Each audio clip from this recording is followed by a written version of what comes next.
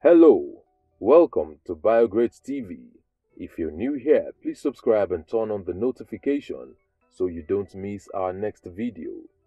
Biography of Sir James Richard Marie Mancham Sir James Richard Marie Mancham was a Seychellois politician who founded the Seychelles Democratic Party and was the first president of Seychelles from 1976 to 1977.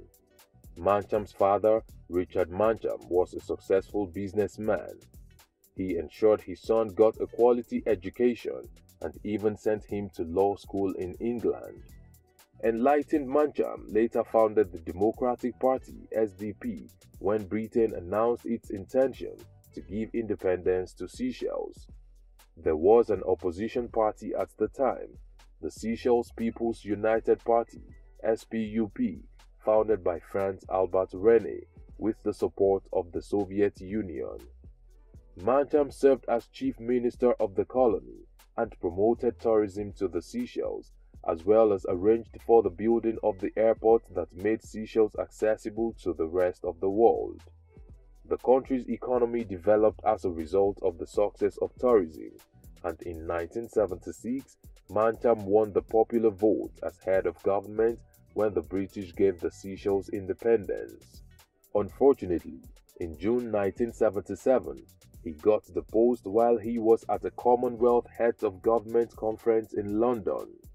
This happened through a coup headed by Prime Minister France Albert Rene, who had the support of Tanzanian trained revolutionaries together with Tanzanian supplied weapons. Mancham was exiled in London until April 1992 where he became financially successful in various international business ventures. It was at this time that he married Catherine Olsen, an Australian journalist working in London. They had a son, Alexander, together. Mancham resumed the promotion of tourism when he returned to Seychelles.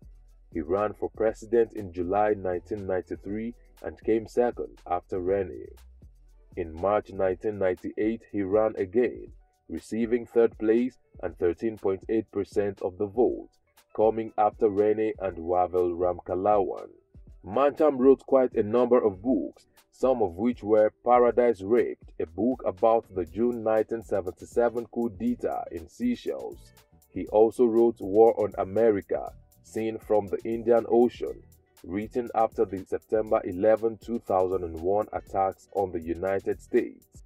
In 2009, he wrote his autobiography, Seychelles Global Citizen, the autobiography of the founding president, and in 2015 he wrote The Saga of a Small Nation, Navigating the Cross Currents of a Big World.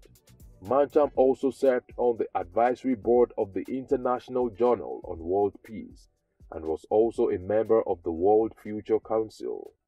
He received the 2010 International Jurist Award at the inauguration of the International Conference of Jurists in Vigyan Bhawan, New Delhi, India. The event was themed International Terrorism and was jointly organized by the International Council of Jurists, the National Human Rights Commission of India, Indian Council of Jurists, and All India Bar Association. Also in 2011, Mancham was one of the recipients of the Gusi Peace Prize. He died suddenly on the 8th of January 2017, possibly of stroke.